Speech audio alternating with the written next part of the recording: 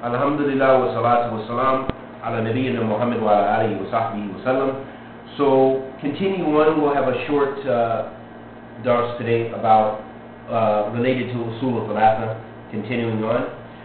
And the Shaykh mentioned, rahimahullah ta'ala, usul al is the book about the three questions we're going to be asked in the grave. Who remembers those three questions? Or at least one of them, huh?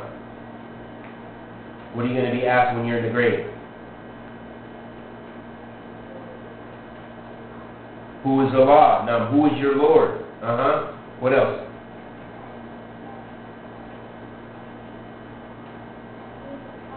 And who is your prophet? Naam. Sallallahu alayhi wa sallam. Huh? And what's the last question? And what was your deen? What was your religion? Ascent. Naam. So this book is comprised about, it is made up of those principles and about the importance of learning those principles and that every Muslim needs to know that. Every Muslim needs to know that. Needs to know that so that way they have knowledge of what is uh, of what their obligations are in this life as well as the hereafter, in fact.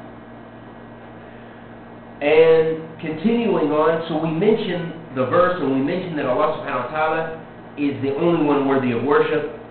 And we mentioned the ayah, the ayah يا أيها الناس اعبدوا ربكم الذي خلقكم والذين من قبلكم لعلكم تتقون ayah where Allah subhanahu wa ta'ala says, O you mankind, so Allah is ordering all of mankind.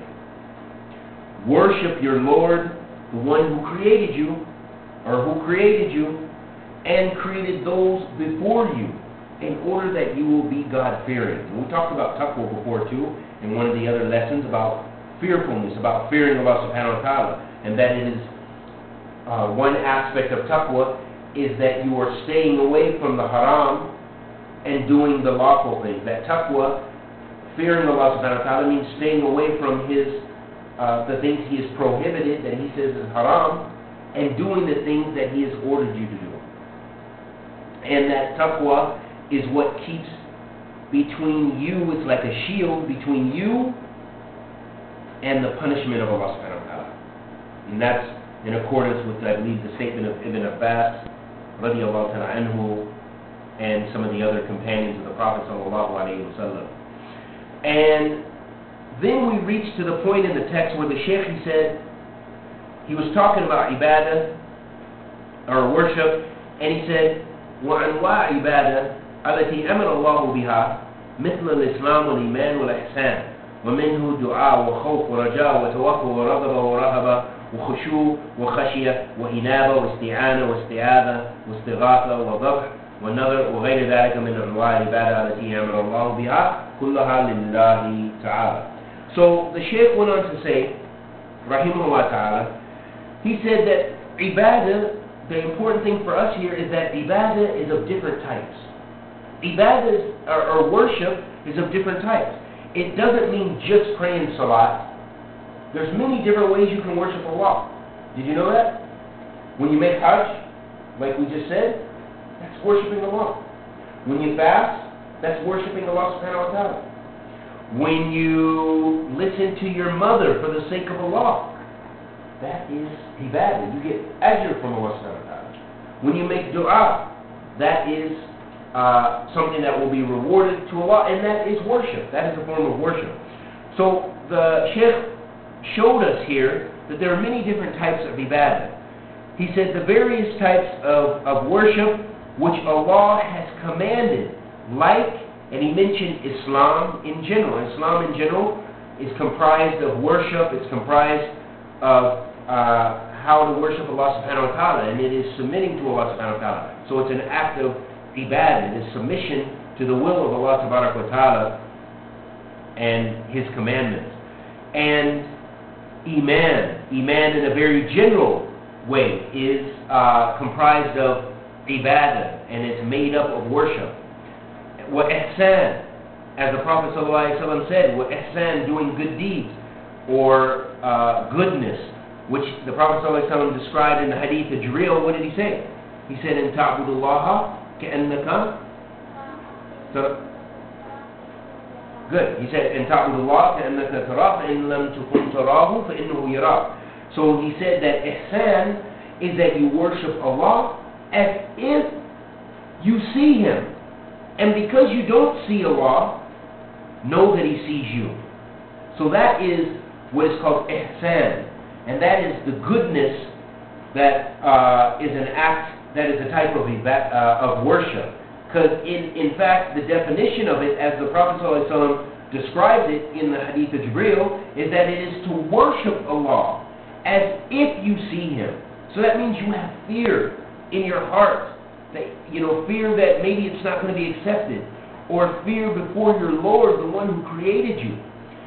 And you have hope for His mercy and His His His uh, His yeah His mercy and His rahmah for for uh, His His creation, and you have that humility before your Lord Subhanahu wa Taala, and also supplication.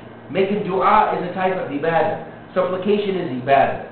And the reason why, you know, we already know that, but we have to convey that to our brothers and sisters in Islam. Some people believe du'a is not ibadah. Why? Because they do du'a to dead people. And they say, they say la ilaha illallah. It's true. Every, every Muslim country, except Saudi Arabia, you'll find that there are some people there who say La ilaha illallah and they go to the graves and they bring gifts to the dead in the grave. They slaughter sheep on the dead on the grave and give that to try to seek blessings from that person. They pray uh, to that person as an intercessor, usually believing that they can help them or harm them. Some some people, some women, they say, "I can't have a baby. Please Sheikh so and so, give me a baby. No, the Sheikh can't do anything. He's dead. He couldn't even help himself.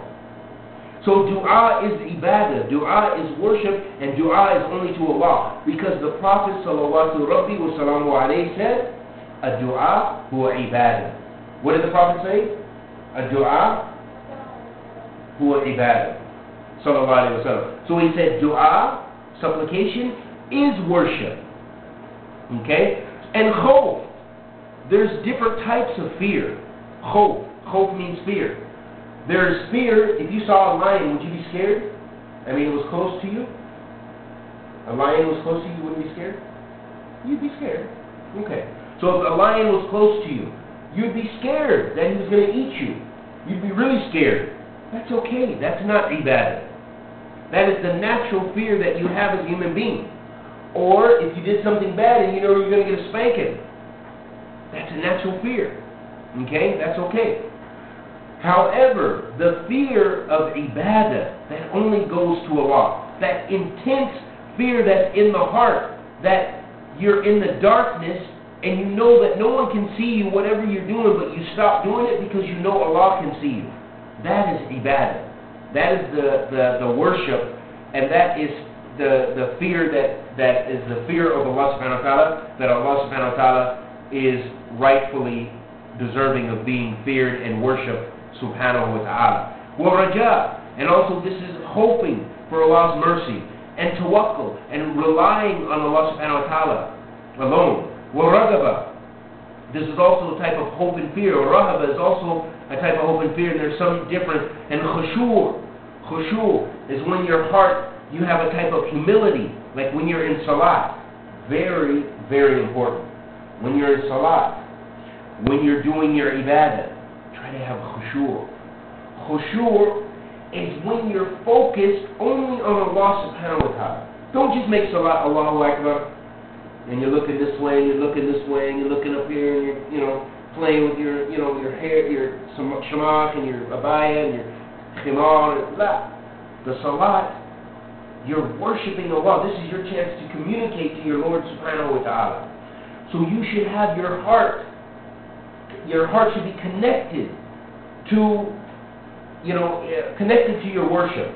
That it should be humble and that you're worshiping Allah subhanahu wa ta'ala alone. And that you should fear and try to think of Allah and, and think of the ayats that you're reading. When you're reading the verses in the Quran, then try to reflect on that in your heart. Have that in your heart. And think about the meaning. And know that Allah is watching you. This will help you with your khushu', your focus and your concentration and your humility. And also uh, inaba, you know, having toba, making toba and repentance and sorrow, this is also a type of worship of Allah subhanahu wa ta'ala. And relying only on Allah and depending upon Allah and seeking the help and refuge in, uh, uh from Allah subhanahu wa ta'ala and seeking forgiveness of Allah subhanahu wa ta'ala. And when we slaughter sheep and slaughter animals, we do that for the sake of Allah subhanahu wa ta'ala. We do that for the sake of Allah subhanahu wa ta'ala. And we eat and we give that meat out for gifts. But we say, Bismillah. Bismillah ar-Rahman ar-Rahim. Bismillah. And we slaughter that animal for the sake of Allah subhanahu wa ta'ala. You know, we're following the rites, Islamic rites, or Islamic uh, things that the Prophet ﷺ has, le- has, has shown us that are legislated uh, acts of worship. And also, when we swear, we only swear by Allah. We don't say, uh, you don't swear by your mother, you don't swear on your friend, you don't swear on the dead sheikh, you don't swear on this person or the angels, but you swear only by Allah. And that shows us swearing is so serious that you should not take it lightly. You shouldn't say, well, Wallahi, I did that. No, don't say that unless it's necessary. Some people, they say everything they do. Wallahi, I took that pencil. Wallahi, I put it there. Wallahi, I sat in the chair. Wallahi, wallahi. They just, so easy. But that's dangerous. We shouldn't do that. We should be very careful. We only say wallahi if it's necessary. Only if it's necessary because that's serious. It's an act of worship to Allah subhanahu wa ta'ala. Those are some of the types of worship and what it shows us, as the Sheikh says, here's what the Sheikh says. It's a beautiful statement. قال الشيخ شيخ محمد ابن عبد الوهاب رحمه الله تعالى قال وغير ذلك من أنواع العبادة التي أمر الله بها كلها لله He said, and other than that, that there's, meaning that there's many different ways we worship Allah. He said, in other types of ibadah, there's many different ways we worship Allah. All of it, التي أمر الله بها, those things that Allah has commanded with, كلها لله, all of it is for Allah. All of it is for Allah. Whatever you do, try to make your intention that it's for Allah. That it's for Allah. Sometimes you make a mistake and you make a mistake with somebody. You take their right. Or you do something, even sometimes you might be wrong. Or, I mean, you know, you, you, or you might be right, I mean, you might be correct. But maybe that person misunderstands. So sometimes be humble for the sake of Allah. And just say, oh, I'm sorry. Oh, I, I didn't mean to do that. Or shake their hand. This helps the heart. Sometimes you might go in front of somebody by accident, and then they, they say, you know, they get upset.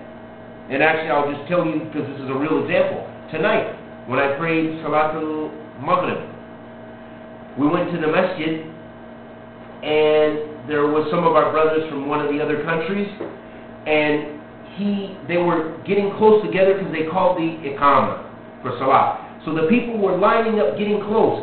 And I came up because I saw that there was enough room that I could fit in, so I moved in between him.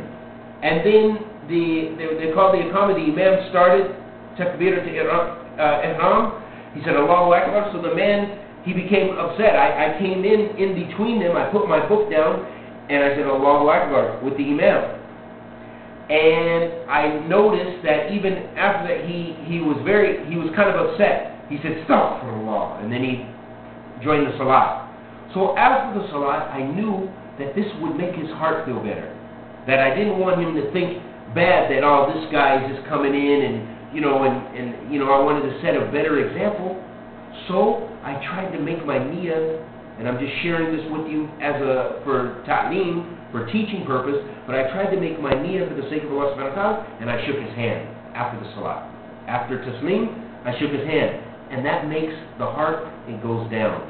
Sometimes uh, people get tension, but if you if you sh- shake someone's hand, they cannot shake your hand, but they won't be as mad as they were before. They won't be as mad as they were before. So if someone is very angry with you, sometimes some people almost want to fight.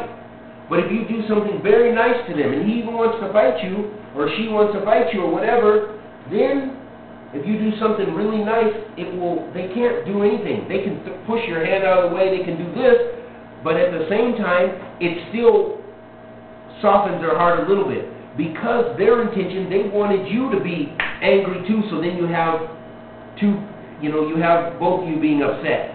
But this is the beauty of Islam.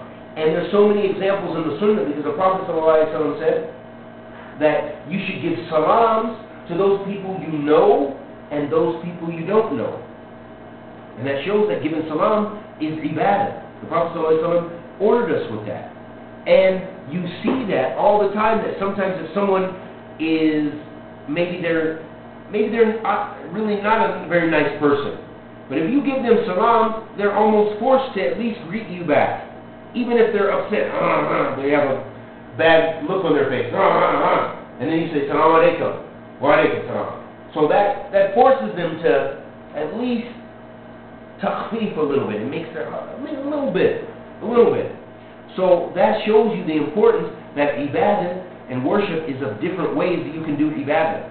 And when you do something for the sake of Allah, and it is in accordance with the sunnah of the Prophet ﷺ, in accordance with the Sharia, then that means it's ibadah. That means it's worship. Anything you do that's good, that it, it, it goes with the Quran and the Sunnah, then that's worship. You get worship. Hmm. Okay? Salat, Zakat, Hajj, Umrah, Tawakkul, you know, relying on Allah, Dua, uh, all of those things. Your heart, those, those, some of those acts of ibadah that I was talking about, khashiyah, khushu', rahaba, wa inaba, wa isti'ana, wa. All of those things had to do with the heart and tawakkul. You can't see tawakkul. You don't see tawakkul in someone's hands or it's not like this. But tawakkul Allah is something in the heart that only Allah subhanahu wa ta'ala knows if you're relying on Him in accordance with your intention. So those kind of, it shows us ibadah in worship of Allah is both in the heart, it's on the tongue, and it's where? In the heart, on the tongue, and on your lips, in your actions. You can give someone one dollar, and that's worship, if it's for the sake of Allah subhanahu wa ta'ala. And if you rely strictly on the law, that is worship of Allah subhanahu wa ta'ala. So all of that is comprised, it shows us that Iman, faith, is comprised of those three things. That you can't leave off deeds. You can't say, oh, I'm a believer, but then you don't do any good deeds. No, that's not true. Some people say that. They say, oh, you don't know what's in my heart. Some women, they don't wear hijab. And they say, oh, it's okay. You don't know what's in my heart. My heart is good. Your heart is not good. Their heart is not good. Because if their heart was good, then it would be in agreement with what Allah and His Messenger ordered. There's no way their heart could be good. Their heart has some stains on it. Why? Allah subhanahu wa ta'ala says, Rana ala qulubihim. بما كان ها بما كانوا سورة المتقين so ها ران على قلوبهم بما كانوا يكسبون صح نعم so Allah subhanahu wa ta'ala mentions for us that they have filthiness on their heart for what they used to do because the more and the Prophet ﷺ explained this uh, ayat this verse by saying the more that you do bad deeds then the more your heart becomes covered with a black stain. But if you do a good deed, like we talked about that other hadith, it helps to remove some of that black stain. So there's no way someone can say, oh, Iman is only in my heart. I don't have to do anything with my limbs. No. I don't have to say the Shahada, I'm really a believer. No. Those, that's false. That's not true at all. Someone who says that, they don't know much about Islam. They're, they're ignorant about Islam, in fact. And they should really study about Islam especially many people who are born Muslim and they take this, this belief. They don't, they don't know what they're talking about. This goes against the Quran and the Sunnah and the Ijma', the consensus of the scholars of Ahl Sunnah. And I ask Allah the Almighty accept our good and forgive our evil. Wa sallallahu wa sallam ala Muhammad wa ala alihi wa sahbihi wa sallam.